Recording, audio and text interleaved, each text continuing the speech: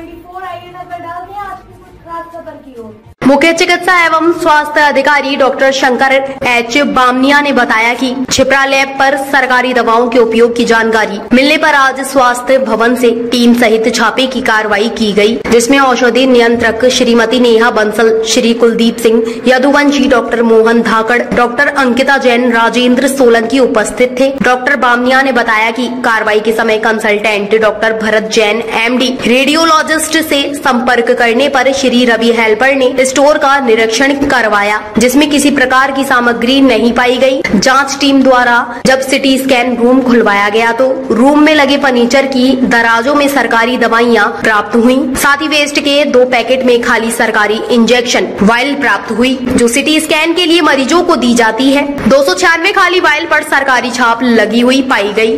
Staff Ravi ने स्वीकार किया कि ईओ हेक्सोल इंजेक्शन की पाँच एम की वायल मरीजों को लगाई जाती है।